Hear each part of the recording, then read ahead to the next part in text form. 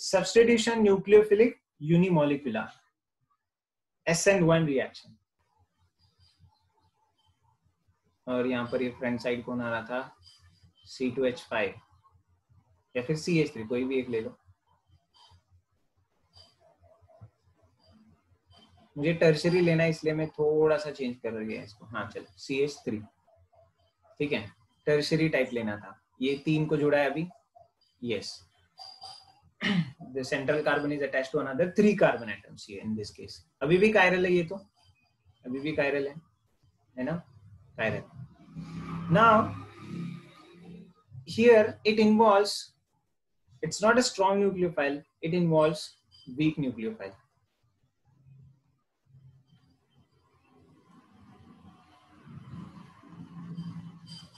weak nucleophile मतलब उसकी strength कम करनी है अभी आपको ठीक है ना? जैसे ओ एच माइनस आ रहा था तो स्ट्रॉन्ग न्यूक्लियोफाइल था।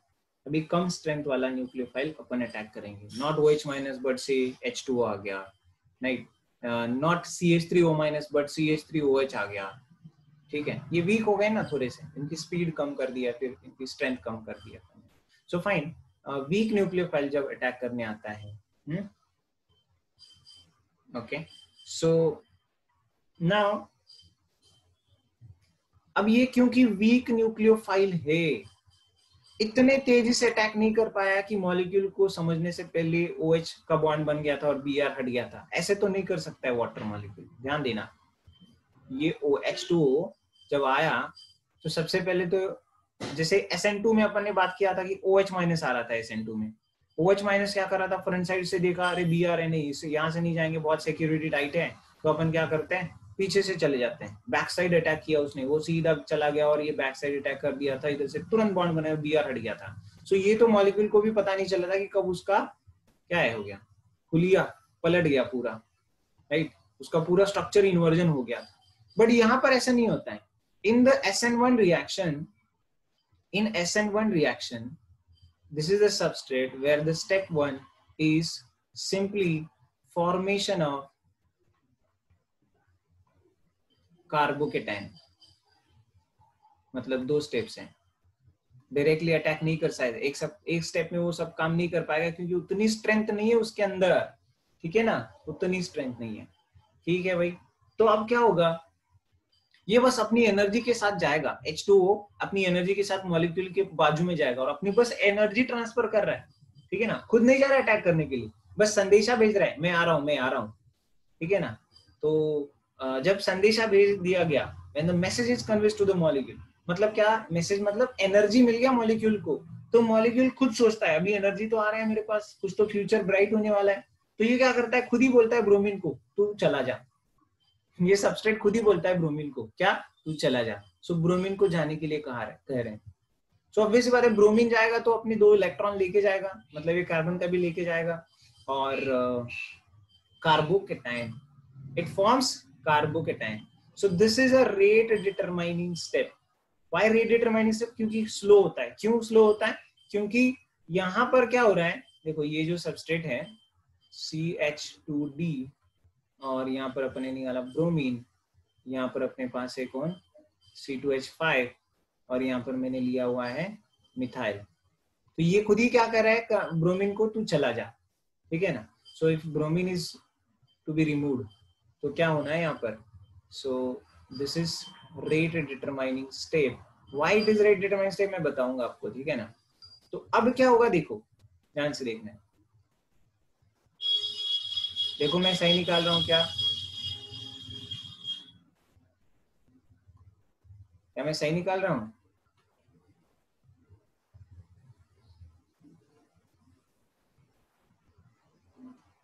परपेंडिकुलर है ये प्लेन को। This is trigonal planar right समझ में आ रहा है आपको ये क्या है? दिस इज़ ट्राइगोनल प्लेनर ये ऐसा पूरा है, ऐसा एक कार्बोकेटाइन मतलब ऑब्वियस सी बात है ना sp2 हाइब्रिडाइजेशन के साथ ये ट्राइगोनल प्लेनर ज्योमेट्री बन जाती है। Do understand this yes so ये ट्राइगोनल प्लेनर ज्योमेट्री में आ गया। मतलब ये सारे मैंने ऐसे सॉलिड लाइन से ही दिखाया ना, बस ये ऐसा। सारे तीनों वैलेंसीज ऑफ़ द कार्बन तो ये this is a trigonal planar species which is formed along with the BR बेचारे बीआर को जाना पड़ा माइनस ठीक है?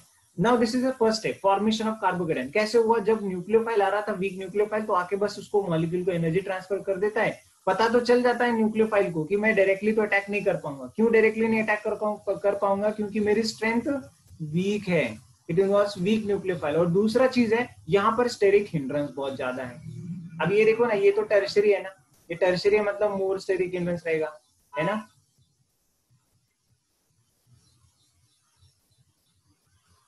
ज़्यादा स्टेरिक हिंड्रेंस और वीक न्यूक्लियोफाइल के कारण ये डायरेक्टली तो अटैक नहीं कर पाया बट पहली स्टेप में क्या कर दिया उसने? Step one formation of carbocation इस तरीके से। Why are rate determining step what is rate determining step slowest step of mechanism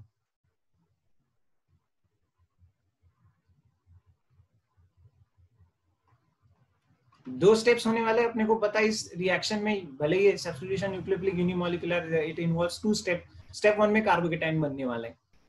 Now, rate step, slowest step of mechanism. Why it is slowest step? Because here octet is getting incomplete. है ना? ये carbocation बन रहा है। Six electron होने वाले carbon के पास यहाँ पर। It only have six electron right six electron से इसके पास। And that is why it is slow step rate step अब जब कार्बोकेटाइन बना अब प्लेनर स्पीशीज बना है ये तो ट्राइगोनल प्लेनर है ना? ये तो ट्राइगोनल प्लेनर है ना? अब इसके ऊपर ओ OH ये जो है ना वाटर में से ओ OH माइनस निकल के आएगा बाहर। मैं क्या बोल रहा हूँ? वाटर में से ओ OH माइनस निकल के आएगा बाहर। और फिर attack of what is second step attack of nucleophile on carbocation attack of nucleophile on carbocation so carbocation के ऊपर अभी ये मस्त एकदम अटैक करेगा आराम से। कोई दिक्कत नहीं है ना उसको तो। क्यों क्यों ये दिक्कत नहीं है? क्योंकि भाई ये तो प्लेनर स्पीशीज है नो स्टेरिक इंड्रेंस कहीं से भी अटैक करो। प्लेनर स्पीशीज है, कहीं से भी अटैक करो no steric hindrance and that is why if suppose I will once again draw this molecule over here CH2D और यहाँ पर आपको मिल रहा है C2H5 और यहाँ पर है CH3 ठीक है? तो ये तो प्लेनर स्पीशीज है कार्बोकेटाइन है। अब आपका ये जो न्यूक्लियोफाइल है विच न्यूक्लियोफाइल यहाँ पर ये जो वाटर में से ओ एच माइनस आने वाला है, ठीक है ना? वाटर में से पूरा नहीं जुड़ेगा, ठीक है ना? पूरा जुड़ेगा तो फिर से अनस्टेबल दिखेगा वो कंपाउंड सो ये क्या करेगा? Both side attack now this time ध्यान देना मैं क्या बोल रहा हूँ? It does both side attack front side attack suppose A बोल दिया एंड बैक साइड अटैक यहाँ पर फ्रंट वैसे बैक होगा नहीं। अगर आप इमेजिन करेंगे तो ही समझ सकते हैं उसको, ठीक है? So this is fast step ये वाली जो स्टेप है वो फास्ट स्टेप है। और बेसिकली uh, यहाँ से H plus after attack remove हो जाता है राइट क्योंकि ओ एच टू प्लस तो स्टेबल नहीं होगा ना इसलिए after attack of water H plus छोड़ देगा तब वो ओ एच माइनस जुड़ा हुआ देखेगा वहाँ पर। So what are the products ध्यान देना अगर ये फ्रंट साइड ए टाइप से अटैक कर दिया ठीक है ना? ए टाइप से अटैक कर दिया तो कंपाउंड कुछ ऐसा दिखेगा आपको C H two D then you will find uh, this one here as it is नहीं sorry. हाँ यहाँ पर आएगा कौन? OH माइनस ये जुड़ गया। और फिर ये जो बाकी के बचे हुए दो चीज़ थे C2H5 and CH3 this is a product ठीक है ना? ए वाला पाथवे जो था। ए से ये यहाँ पर ऐसा बन जाए। और अगर बी वाला फॉलो किया गया तो क्या बनता? CH2D और ये इधर से कौन आया? OH माइनस फाइन और यहाँ पर कौन जुड़ गया है? यह है सी टू एच फाइव और यहाँ पर कौन आ जाएगा? Methyl. If you are able to observe if you are able to observe carefully ध्यान दीजिएगा, यहाँ पर इट्स अ मिरर इमेज देख रहे हैं आप लोग? ये एक दूसरे के मिरर इमेज है कि नहीं है? ये एक दूसरे के मिरर इमेजेस हैं। Yes they are enantiomers no ध्यान दीजिएगा। इनसोमर्स तो बोलेंगे देखो पहले तो बात करते हैं अपन इसके आर की। पहले तो इसके आर की बात करते हैं। रिएक्टेंट के आर एस की। यहाँ पर अगर मैं आर निकालना चाहूँ वन क्या हो जाएगा भाई? सी एच टू डी और सी सी तो ये दो तीन चार। Again four least prioritize group is on the dash base चलो तो ठीक है छोड़ दो उसको। वन टू थ्री क्लॉकवाइज मतलब ये कौन है? आर है। Is it clear? This is R. Now let's talk about this compound 1 uh, two, three, four. Again, one, two, three. This is what R. And what about this one? One, uh, two, three, anticlockwise S समझ में आ रही बात सो so, मतलब क्या हुआ भाई अब कैसे समझ ले कि भाई फ्रंट साइड है सपोज़ ए वाला पाथवे और बी वाला पाथवे कितना हुआ है? It is exactly fifty fifty percent ये फ्रंट से फिफ्टी परसेंट अटैक करता है और बैक से फिफ्टी परसेंट अटैक करता है। इसका मतलब ये फिफ्टी परसेंट बना होगा आर आर जो बना हुआ है, ये फिफ्टी परसेंट बना हुआ है और जो एस वाला कॉन्फ़िगरेशन बना है, ये भी फिफ्टी परसेंट बना हुआ है। क्या हुआ बताओ इसका? इसका नाम क्या बोलू? This is nothing but the racemic mixture yes और ऑप्टिकली क्या होता है? Racemic mixture very good optically inactive optically inactive ये बन गया अपने पास। मतलब परफेक्ट अगर एस रिएक्शन होती है तो कुछ ऐसे होगा ये। ये सारी डिटेल्स इन्वॉल्व है उसमें। परफेक्ट अगर एस रिएक्शन करनी है ना तो पहला स्टेप है कार्बोकेटाइन फॉर्मेशन कार्बोकेटाइन क्यों बना? क्योंकि पहली स्टेप में अटैक नहीं कर सकता क्यों नहीं अटैक कर सकता है? वीक न्यूक्लियोफाइल स्टेरिक बहुत ज़्यादा है। तो पहले कार्बोकेटाइन बना, अब प्लेनार स्पीशीज अब प्लेनार स्पीशीज के ऊपर तो बोथ साइड से अटैक हो सकता है फ्रंट और बैक ये तो एक प्लेन ही है ना बस तो फ्रंट बैक से अटैक कर बट कैसे डिसाइड करेंगे? अरे दोनों से इक्वल कर दो. 50% फ्रंट साइड 50% बैक साइड इसलिए कंप्लीट रेसिमाइजेशन होगा यहाँ पर एंड रेसिमिक मिक्सचर मिलेगा जो कि ऑप्टिकली इनएक्टिव है. समझ में आ रही बात? समझ में आ रही बात आपको? So this is two step reaction पहला स्टेप फास्ट है रेट डिटरमाइनिंग सॉरी पहला स्टेप स्लो है रेट डिटरमाइनिंग स्टेप है सेकंड स्टेप फास्ट है why first step is slow because octet is getting incomplete it is slow reaction it is slow reaction and uh, take place in two steps take place in two steps ठीक है? दो steps हैं। अच्छा उसमें से पहला step क्या होता है? यही इधर ही भी लिख लेते हैं, तुरंत लिख देते हैं यहीं पर। स्टेप वन क्या है? Step one is formation of carbocation and step two क्या होती है? जो कि ये ये कौन सी है? स्लो है। पहला वाला स्टेप जो है स्लो है स्टेप स्टेप टू कौन सी है? Attack of nucleophile to form the product this is fast step ठीक है ना? दूसरा राइट रेट सेकेंड जो अपन पॉइंट बोलते हैं, वो रेट के बारे में बोलते हैं। Rate is equal to K into concentration of R X मतलब देखो फ़र्स्ट स्टेप में, अगर आप थोड़ा सा वापस जाकर के देखिए द लास्ट स्लाइड जो था, वहाँ पर से आपको पता चल जाएगा कि the rate is nothing but slowest step of mechanism और स्लो स्टेप कौन सी थी? पहली स्टेप थी। और पहले स्टेप में न्यूक्लियोफाइल पिक्चर में आया ही नहीं था। है ना? वो तो बस दूर रह करके क्या कर रहा था? अपनी एनर्जी दे करके कार्बोकेटाइन बना रहा था। तो पहले स्टेप में क्या है? सिर्फ़ सबस्ट्रेट है। इसलिए rate is only dependent on the concentration of substrate तो ऑर्डर क्या हो गई बताओ? ऑर्डर क्या हो गई इसमें? Hence order is one and even molecularity be one क्योंकि रेट डिटरमाइनिंग स्टेप में सिर्फ़ एक ही रिएक्टेंट है वहाँ पर, दो है ही नहीं। इसलिए ऑर्डर और मॉलिक्यूलरिटी दोनों वन हो गए। तीसरा, ठीक है ना? In third point we talk about this what stereo chemistry इसकी स्टेरियो केमिस्ट्री के बारे में बात करते हैं अपन, है ना? तो it forms racemic mixture product is racemic mixture जैसे उसमें क्या हो रहा था इन्वर्जन हो रहा था, वैसे इसमें क्या होता है? रेसिमिक मिक्सचर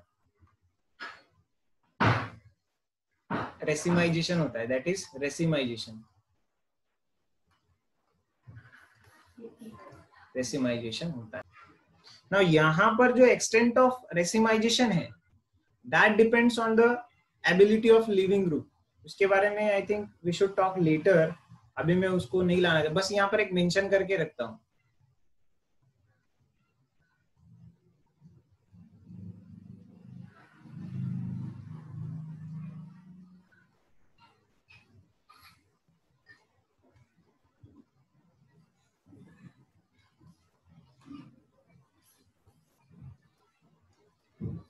एलजी क्या है अपना? एलजी लिविंग ग्रुप है। याद रखना। ठीक है ना? अब इसमें फिर वो वर्ल्डन इन्वर्जन जैसा कुछ फोर्थ पॉइंट नहीं है तो उसको अपन निकाल देते हैं। It it has weak nucleophile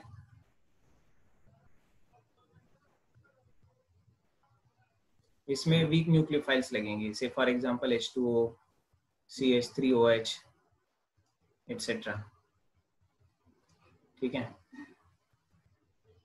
हम लिख रहे थे सॉल्वेंट के बारे में यस तो पोलर सॉल्वेंट बहुत अच्छी बात है। यहाँ पर क्या लगेगा? पोलर सॉल्वेंट क्या यूज़ करना है भाई? Polar solvent here okay so क्योंकि, क्यों पोलर सॉल्वेंट पता है? वो जो आपका न्यूक्लियर फ़ाइल आ रहा है, उसको सॉल्वेट करना है। वो अगर नॉन पोलर है तो वो सीधा जाके अटैक करने का सोचेगा।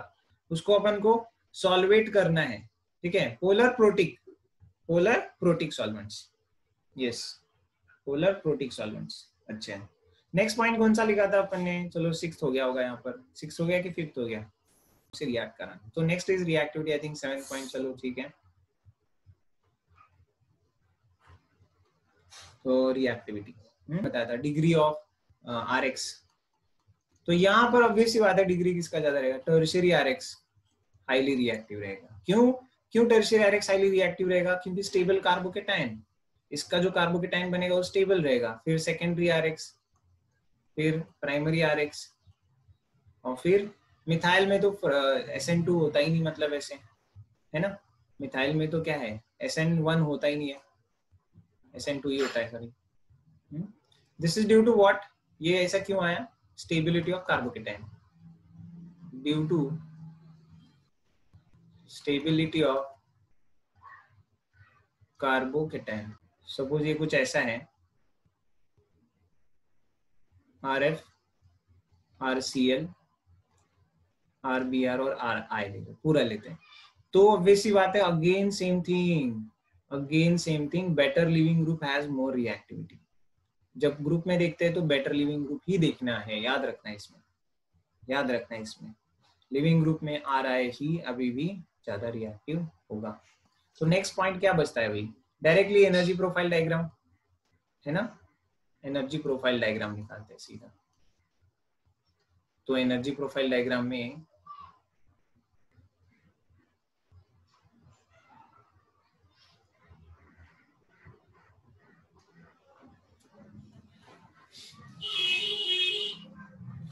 कितने पीक्स होंगे? हाउ मेनी पीक्स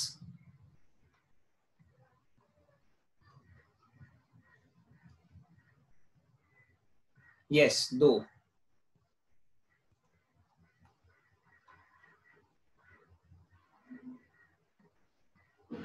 दो पीक्स होंगे वेरी गुड उसमें से पहला पीक की जो हाइट है वो ज़्यादा रहेगी और दूसरा पीक का कम रहेगा, याद रखना। ठीक है ना? ये ऐसा होगा। ये ऐसा होगा। ओके तो इस केस में क्या है बताएँ? आर एक्स यहाँ पर सिर्फ़ आर एक्स है। ठीक है? यहाँ पर क्या बना हुआ है? आर प्लस बना हुआ है। After the completion of first ठीक है ना? स्टेप और फ़र्स्ट स्टेप यहाँ पर कंप्लीट हो गया यहाँ से सेकेंड स्टेप तो यहाँ पर बन गया क्या? R O H plus X minus X minus बाहर चला गया ना? वैसे तो इसको भी नहीं लिखना चाहिए, क्योंकि आर प्लस जब बन गया था, तभी एक्स माइनस बाहर चला गया था राइट आर प्लस जब बन गया था तभी एक्स माइनस बाहर चला गया था तो, तो मैं ओवरऑल लिखने की बात करूँ तो यहाँ पर R X plus N U minus लिख सकता हूँ।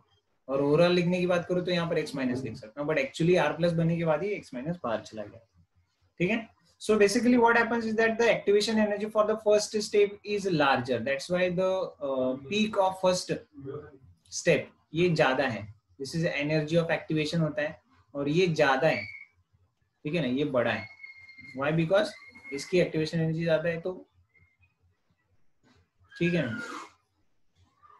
तो ये पहले का ट्रांजिशन स्टेट ये ट्रांजिशन स्टेट वन है और ये ट्रांजिशन स्टेट टू है।